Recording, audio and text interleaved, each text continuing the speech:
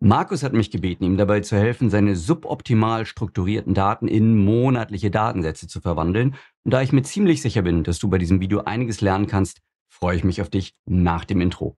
Bis gleich.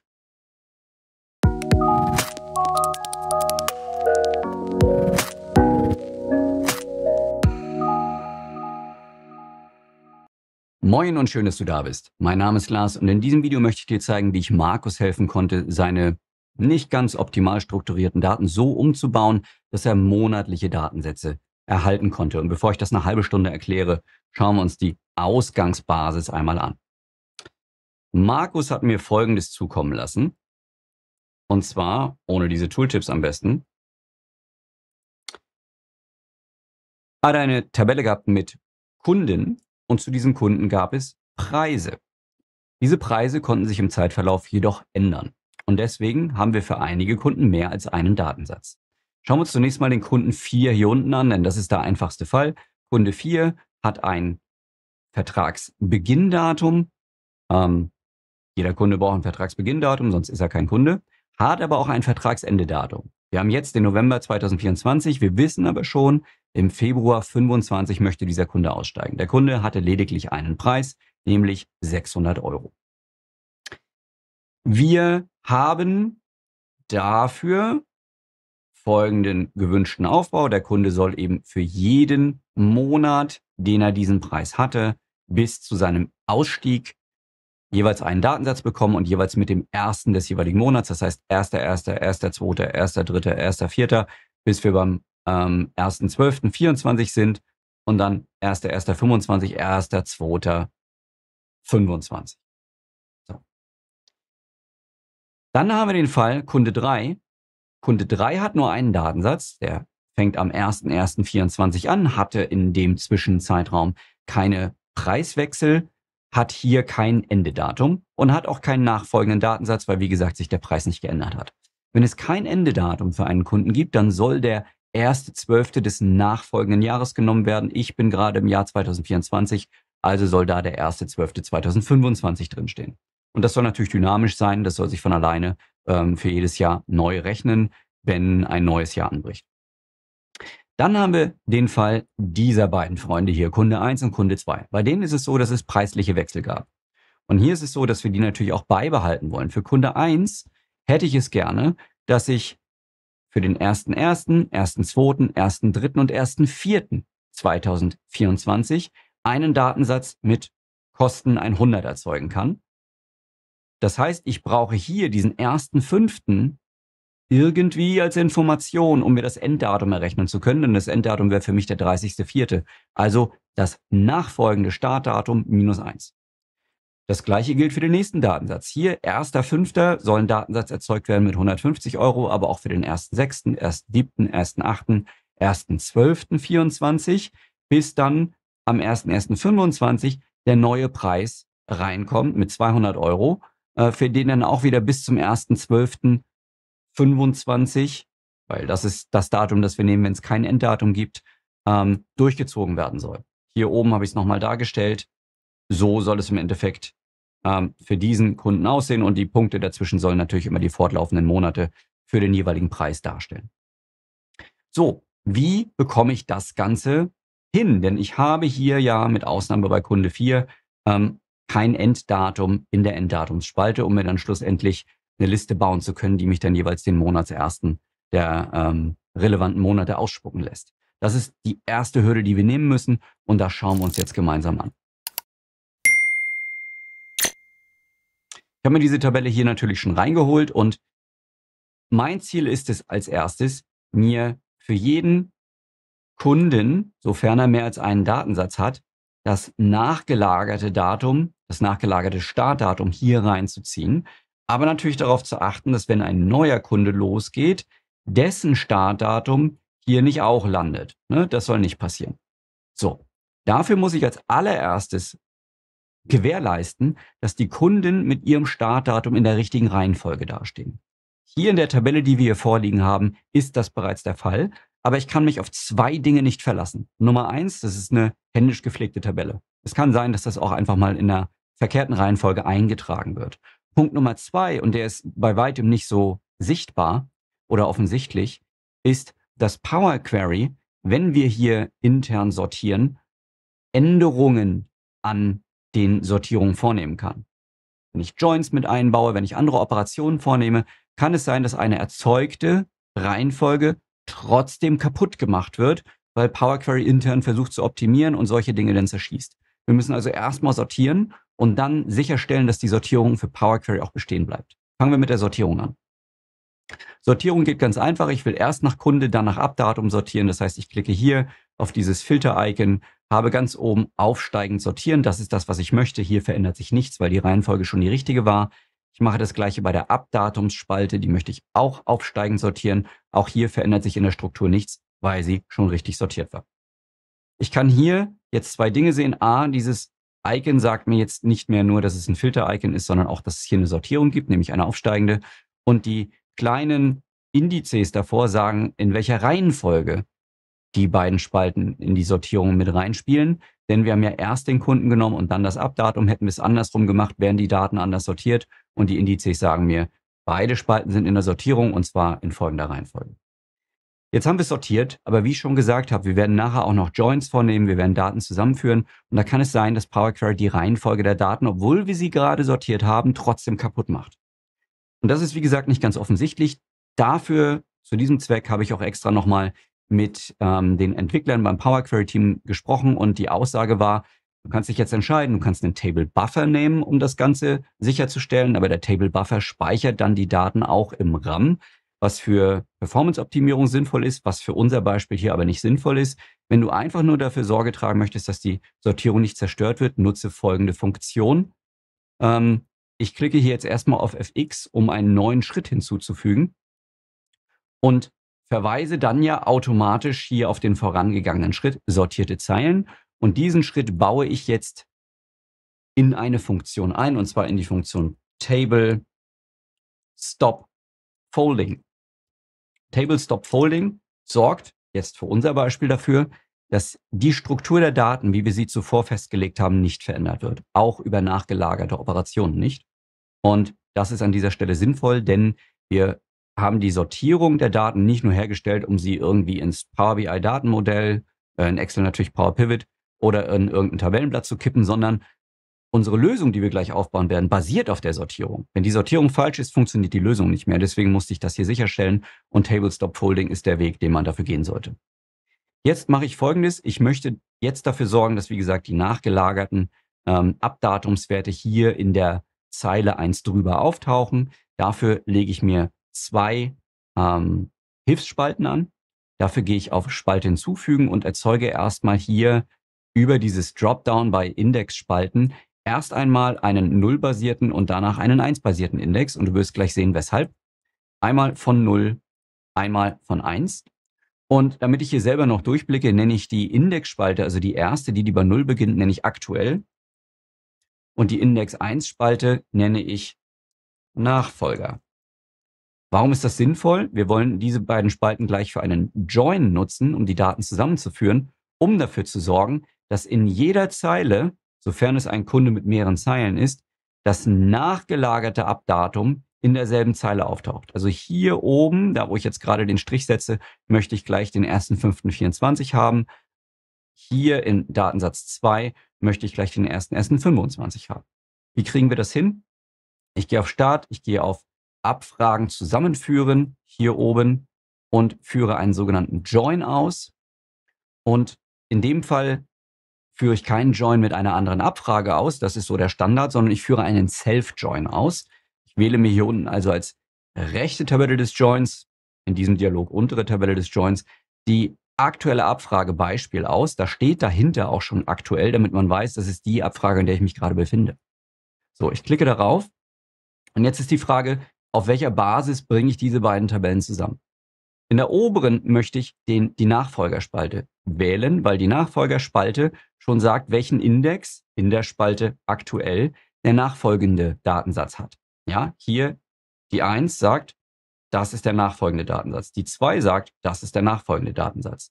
Worauf ich mich fokussieren muss, ist, dass wir hier ja aber auch einen Übergang haben zwischen zwei Kunden, zwischen Kunde 1 und Kunde 2. Das heißt, Die beiden Indexspalten können nicht die einzigen Kriterien für den Joint sein, sondern der Kunde selbst muss es auch sein, damit ich nicht auf einmal das Anfangsdatum von Kunde 2 als Enddatum beim Kunden 1 mit drin habe.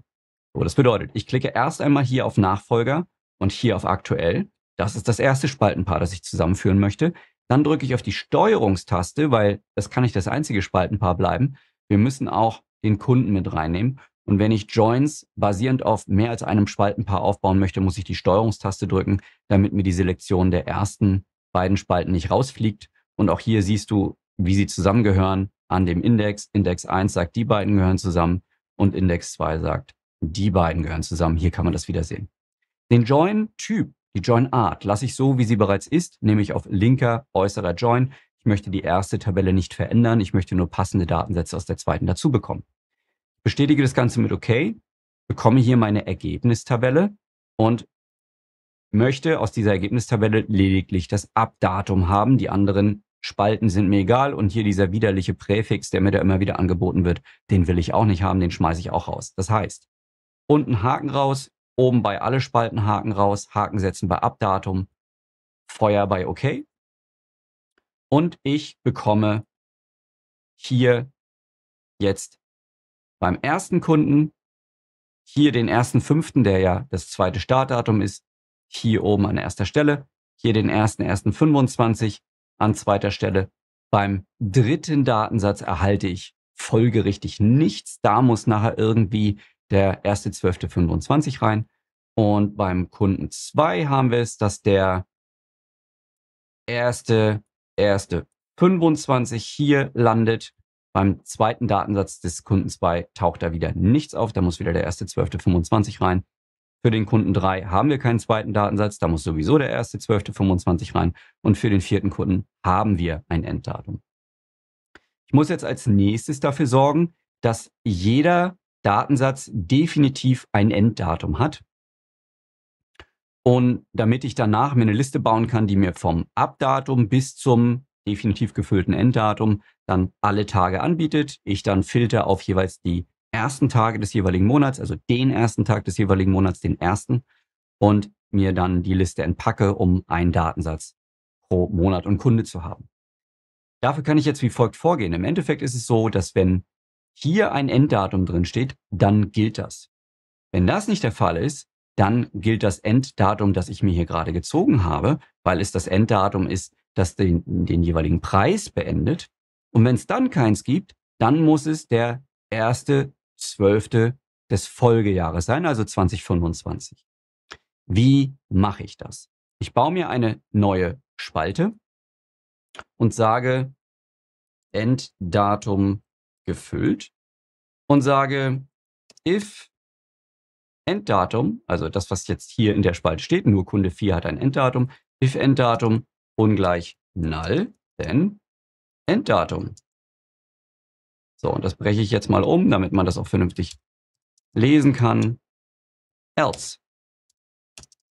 Also, wenn es ein Enddatum gibt, soll das Enddatum genommen werden. Wenn dem nicht so ist, dann frage ich als nächstes if Abdatum 1 ungleich null, then Abdatum else. Und dann gibt es jetzt nur noch den dritten Fall, ähm, wenn es in der Enddatumsspalte kein Datum gibt und in der Abdatumsspalte, dann soll der 31. Entschuldigung, der erste Zwölfte des Folgejahres greifen. Und dafür holen wir uns erstmal das aktuelle Datum mit Date Time Local Now kriege ich den, wenn ich da hinten noch ein W anbaue, ist es auch Local Now, kriege ich den aktuellen Zeitpunkt als Datum und Uhrzeitwert. Das möchte ich in ein Datum umbauen. Date from. Damit habe ich dann ein Datum. Aus diesem Datum möchte ich ein Jahr in die Zukunft springen. Selbst wenn heute der 31.12.2024 wäre, was er nicht ist, würde ich an den äh, 31.12.2025 ähm, springen. Das wäre in Ordnung. Das heißt, ich sage hier Date at Year Und da sage ich eins, gehe ein Jahr in die Zukunft und bin dann ja, können wir uns anschauen, Date at Years heißt das Ganze. So, bin dann hier ja beim 19.11.2025. Und hier sage ich dann Date End of Year bin dann beim 31.12. So, und das ist das, was ich auch erstmal möchte, denn das ist der Endwert des Folgejahres, dass ich mir daraus den ersten ziehe, den ersten des jeweiligen Monats, kommt nachher in der entsprechenden Liste. Das heißt, ich habe jetzt für jeden Datensatz ein Startdatum und ein Enddatum. So, mit den beiden Werten kann ich arbeiten. Ich mache hieraus jetzt erstmal noch ein Datum und schmeiße jetzt alles raus, was ich nicht brauche. Ich habe einen Startwert, ich habe die Kosten, ich habe Enddatum gefüllt, andere Spalten fliegen raus. So, jetzt möchte ich mir eine Liste bauen, die für jeden Tag zwischen Abdatum und Enddatum ähm, einen entsprechenden Wert hat und dann auf die ersten des Monats filtere.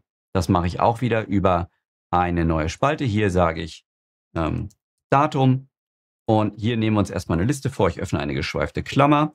Ich hole mir das Startdatum rein. Ich setze zwei Punkte. Ich hole mir das Enddatum rein. Ich schließe diese Liste. Diese geschweiften Klammern erzeugen eine Liste manuell. Die Punkte dazwischen machen eine geschlossene Liste draus, vom Startwert bis zum Endwert. Das Problem ist, für Datumswerte kann ich das nicht tun, sondern nur für Zahlen. Auch für Buchstaben im Übrigen. Aber in dem Fall hier äh, sind die Zahlen das Thema. Und dafür muss ich diese Werte vorher noch in Zahlen konvertieren. Das heißt, Number from sowohl für die Abdatumsspalte und Number from auch für die Enddatumsspalte. Es gibt eine Funktion, ähm, List die das Ganze ähm, auch ohne Konvertierung in Zahlen machen würde, aber die finde ich an sich schon kompliziert genug. Ähm, da konvertiere ich mir das hier lieber. So, hier haben wir jetzt eine Liste von Zahlen, die repräsentativ sind für die Datumswerte, ähm, hinter denen sie stehen. Und damit das Datumswerte wieder werden, konvertiere ich diese Liste über eine List Transform Funktion in ein Datum.